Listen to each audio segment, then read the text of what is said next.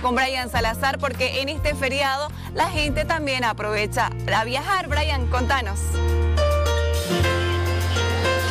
¿Qué tal, eh, Nicole? Buenos días. Efectivamente, estamos aquí en la terminal de buses en la Bimodal, aquí en Santa Cruz, donde sucede bastante movimiento por parte de la ciudadanía que, como usted lo decía, está buscando la forma de aprovechar este feriado de Semana Santa, este largo feriado de Semana Santa, viernes, sábado y domingo, por lo que hay muchos que han llegado hasta la Bimodal a buscar pasaje.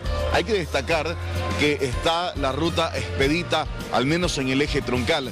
Santa Cruz, Cochabamba, La Paz, se comercializan los pasajes, no han sufrido un incremento, al menos hoy podemos evidenciar aquello, se mantiene el precio de los pasajes. También a la ruta de Trinidad está totalmente expedita la carretera, entonces no hay ningún reporte, atención los viajeros también que están yendo por su cuenta, no hay ningún reporte de bloqueo o complicaciones en la carretera.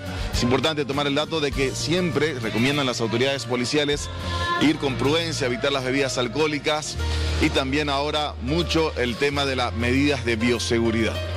Eso le iba a consultar precisamente. ¿Cómo estamos en la terminal bimodal con las medidas de bioseguridad? ¿Se cumple el distanciamiento social? La gente que está llegando hasta este lugar para comprar sus pasajes, ¿tiene el uso de barbijo, Brian?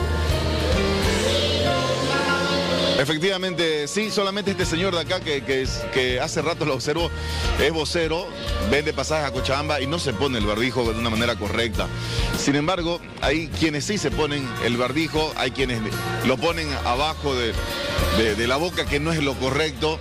Sin embargo, eh, sí, eh, en porcentaje arriba de un 70, 80% hay quienes están cumpliendo las medidas de bioseguridad. Hay controles, ¿no? Al ingreso de la terminal bimodal en Santa Cruz, pero depende de usted también el cuidado. Si usted se cuida, está cuidando a los demás. Póngase de la manera correcta el barbijo. Nos quedamos con estas imágenes para observar el movimiento que se vive a esta hora de la mañana también en Santa Cruz. Hay más noticias, Edmundo, estamos contigo.